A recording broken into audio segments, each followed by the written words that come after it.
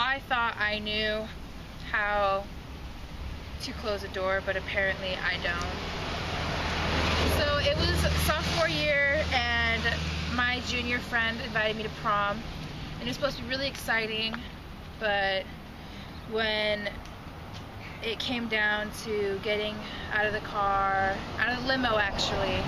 and going inside, all my friends came out of the car all nicely and there were pictures that were being taken and everything and then it gets down to me. And when I get out of the car my friend closes the door really fast which gets my friend's jacket that I had on and my dress causing it to rip because the limo left as soon as the door closed. So I stood there with the back of my dress ripped showing my back. And that was very awkward